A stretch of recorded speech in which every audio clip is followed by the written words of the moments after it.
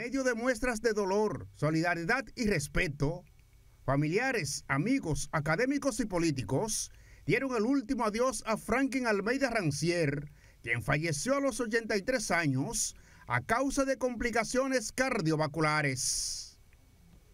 La infausta noticia del fallecimiento de Franklin Almeida sorprendió al país la mañana del viernes.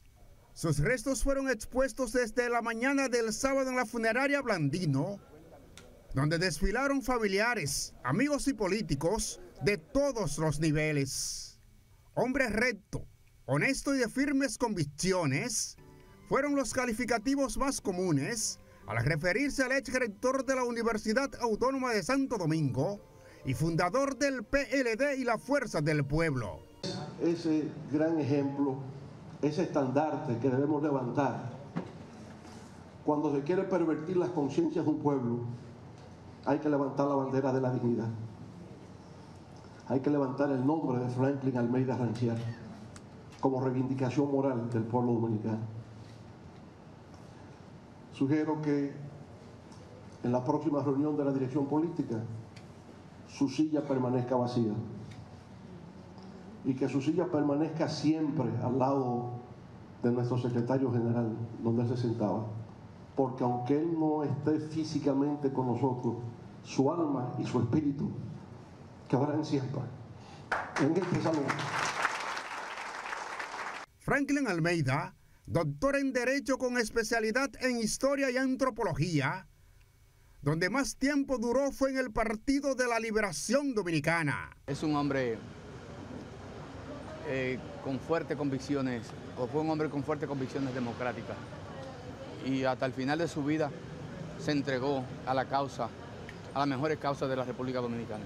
El doctor Almeida recibió honores en su condición de ex ministro de Interior y Policía, y luego su féretro fue trasladado a la UAS, donde fue rector en el periodo 1987-1990. El aula magna de la UAS fue abarrotada de personas, donde se rindió un homenaje y las autoridades montaron guardia en compañía del expresidente Leonel Fernández. La Universidad Autónoma de Santo Domingo podrá partir físicamente pero jamás morirá la impronta dejada en cada joven moldeado por sus enseñanzas.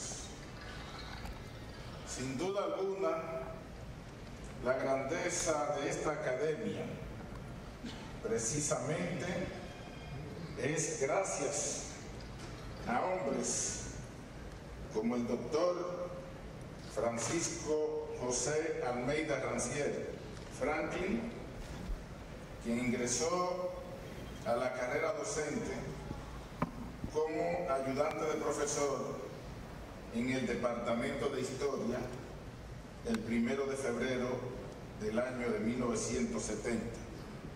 Su familia lo recuerda como un hombre ejemplar. Fue un hombre de principios no negociables, eh, mucha de la gente que, también estuvo cerca de él, a veces nos preguntaba a nosotros, los hijos, ¿dónde se apaga tu papá? Franklin Almeida un altamireño que trascendió los laberintos de la fuerza de las palabras para quedar plasmado en la intensidad de su impronta. La política provoca que a los hombres se le aplique la frase de que los grandes hombres vivos solo son reconocidos cuando son grandes hombres muertos. Para proceso, Félix Montán.